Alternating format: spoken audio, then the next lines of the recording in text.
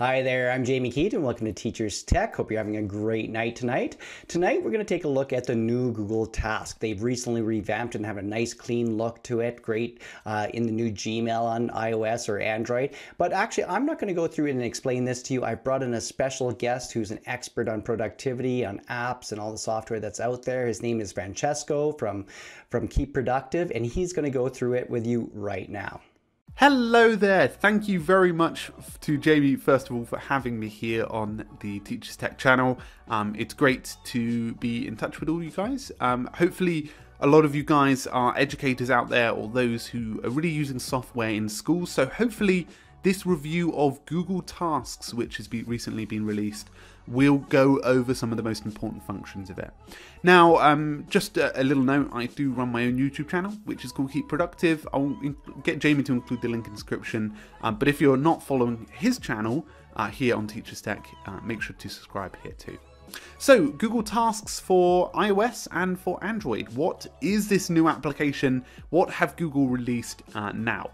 because there's, you know, Google always adding to their experiences. Now, some of you may have heard of Google Keep and maybe even recommended it to a few of your students in the past. Google Keep is essentially like a note taker slash checklist application. It's almost like having post-it notes in your pocket.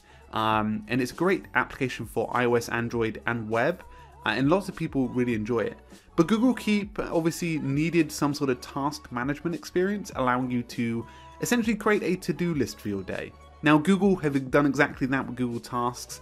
They have released it on iOS and Android and is now available inside of the new Gmail, which I believe Jamie reviewed here on the channel. So do check out the Gmail review here.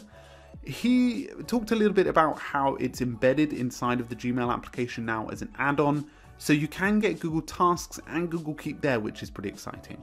But Google Tasks is essentially your to-do list application. It's a dead simple one, um, and if you're recommending it either to your students or to other faculty members, I think it's a good solution. It's a pretty simplistic solution, mainly because the application doesn't really do a great deal in terms of uh, you know anything too snazzy.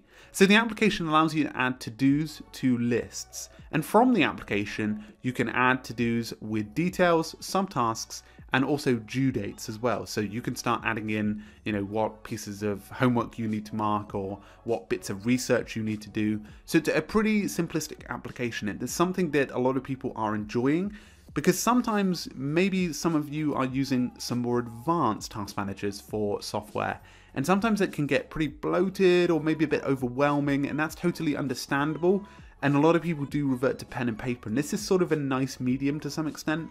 You don't want to go too advanced, but you want this simplicity of very similar to note, pen and paper. Um, so this could be a great application for you, especially for students as well. If you and your students are looking for a good task manager, this could be the one because it's really distraction free. There's no adverts or applications sort of pushing you out and it does work really really well so students can start adding tasks um, even to lists so for example they could have a homework list um, they could have uh, a list per class which is quite exciting and they can access this all through their gmail or even through uh, the iOS and Android applications without having too much of a um, differentiated experience. They can obviously keep to that uh, layout. Now the application does provide some really nice font and illustrations if that's something that excites you and it's really designed in a white style so you've got this lovely clean canvas to start adding tasks to. Now there's no limit to adding tasks and you can even sort them by date or even just the order that you put them in and subtasks are simply displayed below each of the tasks which makes it really easy to see and start ticking off exactly what you're working on. You can even see all of your completed items, but if that's something you don't want to see, you can click the delete all completed items and they'll go away. But it's a really nice experience, especially if you're trying to simplify everything. So guys, hopefully you enjoyed this quick review of Google Tasks for iOS.